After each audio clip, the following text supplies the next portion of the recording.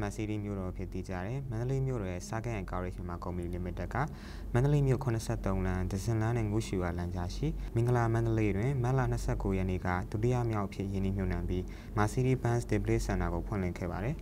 မန္တလေးမှာရှုံးရှိခဲ့တာလွန်ခဲ့တဲ့၄နှစ်ကပါဒါပေမဲ့လွန်ခဲ့တဲ့တစ်နှစ်လောက်ကစပြီးမန္တလေးမှာရှုံးမရှိပါဘူးမန္တလေးမာစီရီချစ်တဲ့သူတွေတော်တော်များများလည်းတတိယနေတယ်လို့ပြောနေတယ်ဒါကြောင့်ဒီနေ့မှာမာစီရီပိတ်သက်တွေနဲ့ဒီနေ့ပွဲလေးလုပ်ပြီးတွေ့ဆုံခဲ့တာပါမြန်မာပြည်မှာမာစီရီဘန်စ်ကို General Distributor ဖြစ်စားကန် Encourage Auto မြန်မာက2013ခုနှစ်ကစတင်တာဝန်ယူဆောင်ရွက်ခဲ့တာဖြစ်ပြီး2018ခုနှစ်မတ်လကရန်ကုန်မြို့မှာပထမဆုံး 3M Mercedes Benz အယောင်ပြကန်ကိုစတင်မိတ်ဆက်ခဲ့ပါတယ်။စာကန်ကော်ရေးရှင်မာကို1899ခုနှစ်ကမလေးရှားနိုင်ငံကွာလာလမ်ပူမြို့မှာစတင်ဖွင့်လှစ်ခဲ့ပြီးစင်ကာပူမလေးရှားနဲ့မြန်မာနိုင်ငံတို့မှာ Mercedes Benz Master Key တဲ့ကားများအပြင်ဖူဆိုလုပ်ငန်း၃ရောက်ရှင်များကိုပါဖြန့်ချီရောင်းချပေးနေပါတယ်။ မာစီရီဘန်ကားများကိုဘန်၃ခုနဲ့ချိတ်ဆက်ပြီးအနည်းဆုံးတစ်နှစ်ကနေပြီးတော့အများဆုံး9နှစ်အထက်ဝယ်ယူနိုင်မယ်အရေးချစနစ်ကိုဝန်ဆောင်မှုပေးထားပါတယ်2019ခုနှစ်ကစတင်ပြီးကားတွေရဲ့ဝန်ဆောင်မှုနဲ့အာမခံကို၄နှစ်အထိတုံ့ပြန်ပေးထားပါတယ်။ Mercedes-Benz ကကားမျိုးစားပေါ်မူတည်ပြီး American ဒေါ်လာ6000ကနေ3သိန်းအထိရှိတဲ့ကားမျိုးစားတွေကိုရောင်းချပေးနေပါတယ်